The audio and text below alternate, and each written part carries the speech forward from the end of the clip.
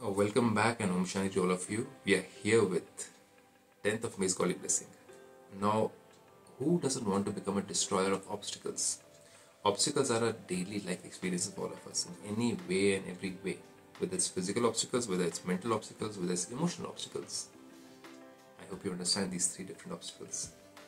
We just think about obstacles in the terms of finances, in terms of our work, in terms of a job, but then relationships also can bring about obstacles. Emotional obstacles can come in between relationships. Physical obstacles in terms of your health. And that's why we are here to talk about obstacles. So God says, May you be a destroyer of obstacles and become wise with the knowledge of the three aspects of time. So, past, present, and future. So, when you remember your past, and when God tells us that you were a divine, pure, powerful being, the most wise being whom I sent on this earth, and now look at you, you became greedy, you became jealous, you became hateful, you became lustful, you became angry. So remember who you were and how I sent you, and be that.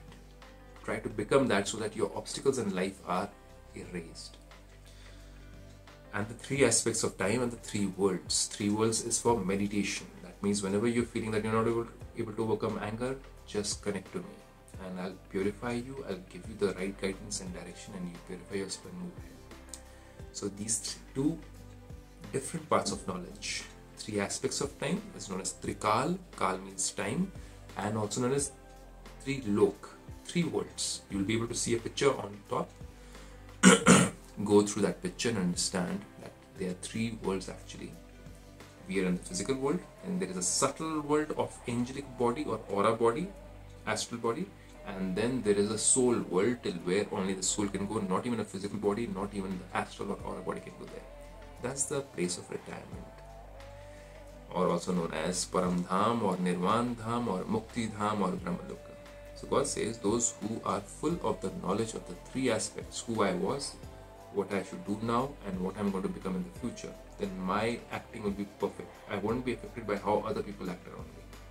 And the three worlds, who know the three worlds, are said to be wise, that is, they are called Ganesh.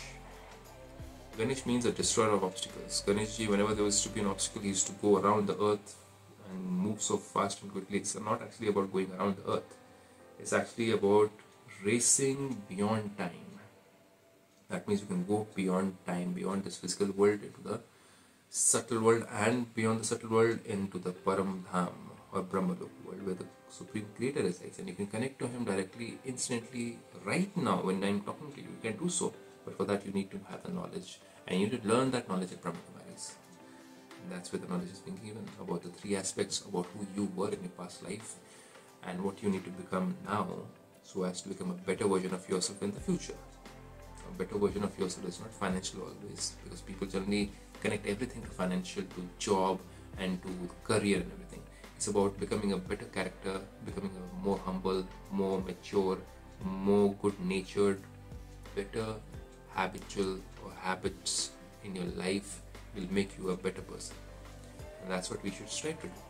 And then everything else will be taken care of. So ganesh is someone who is a symbol of somebody who has that knowledge who has that character who has that wisdom and is able to overcome all the obstacles without using any negative or satanic or ravanic methods of lust, anger, greed, ego, attachment, jealousy, hatred.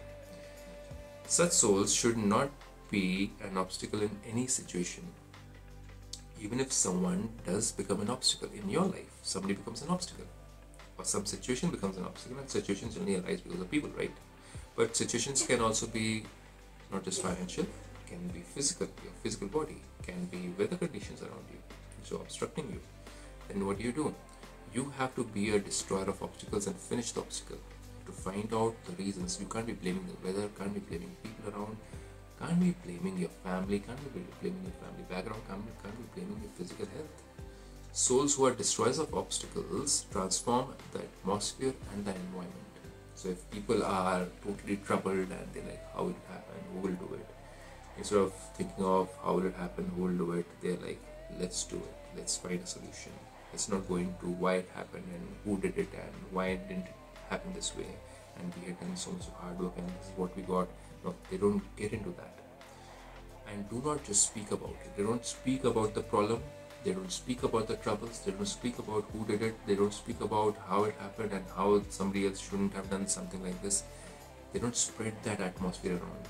They go about changing everybody's thought patterns. They go about changing everybody's direction of thinking. And they are leaders who got that wisdom. They focus towards solution, not the problem.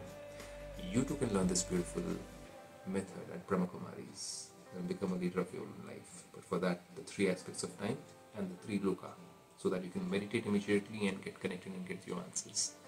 And that's what you learn in Brahma Kumaris. Most welcome and learn this beautiful art. Om Shanti with this.